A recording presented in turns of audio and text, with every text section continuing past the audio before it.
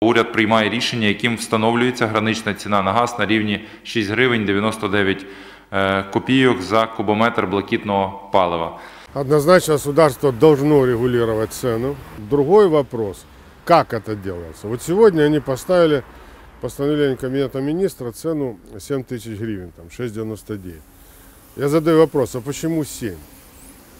Вот у нас себестоимость газа отечественной добычи 3 тысячи гривен.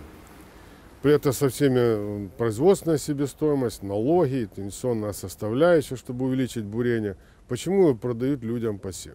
И да, людям сказать, вот у нас есть газ, которым пользоваться должны все люди страны, которая э, по Конституции так.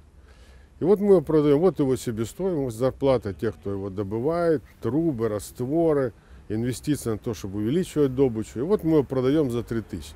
Тогда этот человек понимает, что, что он платит. А сейчас пытаюсь представить, что 7 тысяч это какое-то спасение.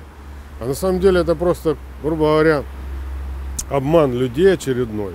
И мы категорически против этого. Надо людям показать себестоимость и дать честную цену. И она будет под 3000 гривен.